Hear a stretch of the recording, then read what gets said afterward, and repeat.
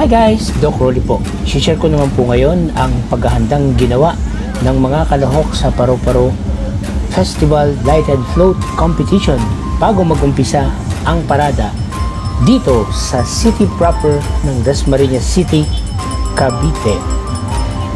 Kahapon naman po, ginanap ang uh, street dance competition ng uh, Paru-Paro Festival na tumahak sa katulad na rutang dadaanan ng Lighted Float Parade.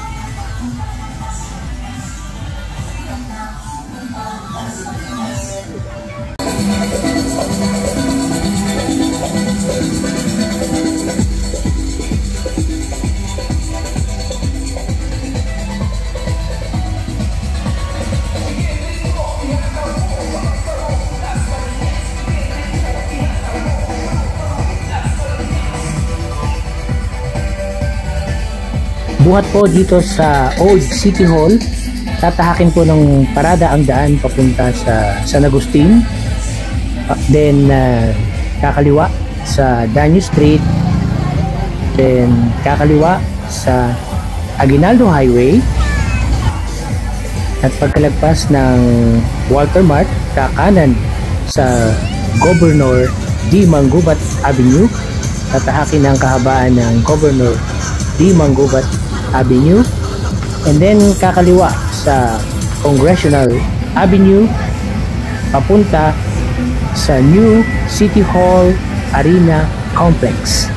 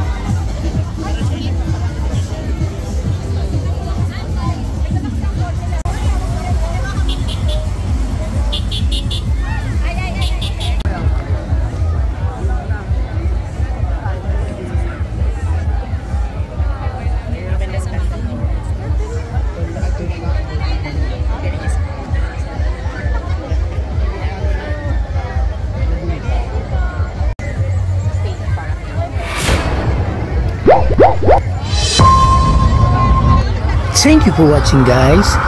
See you in my next video.